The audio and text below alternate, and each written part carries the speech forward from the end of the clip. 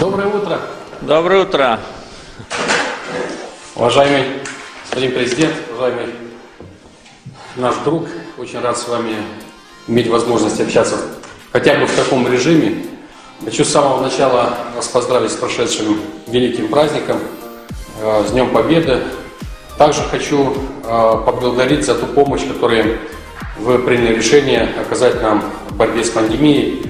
Буквально несколько дней назад, на прошлой неделе мы э, приняли помощь, которую вы направили специальным самолетом. Хочу вам сказать большое спасибо от имени всего нашего народа за то, что э, наши э, друзья, наши братья из Баку решили нам помочь в этой трудной ситуации. Знаю, что у вас тоже идет борьба с пандемией, знаю, что вы успешно с этим справляетесь. Я надеюсь, что об этом и о других пунктах нашего сотрудничества мы сегодня сможем в режиме телеконференции пообщаться. Да, очень рад вас видеть, уважаемый господин президент. Хотел бы также поздравить вас и ваш весь народ Молдовы с прошедшим праздником Победы в наших странах.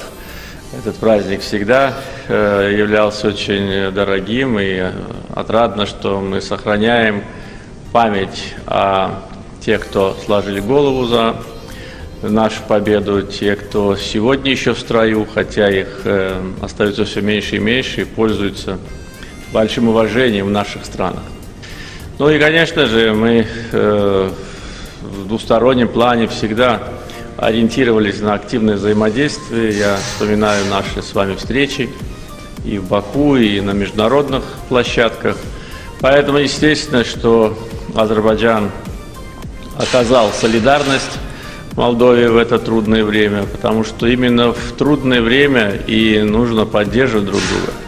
Когда у всех все хорошо, ну, все друг друга поздравляют и радуются успехам, но в трудную минуту, конечно, по мере возможности мы должны оказывать друг другу поддержку. Я благодарен вам за ваше письмо в связи с этим и также сегодня то, что вы это отметили.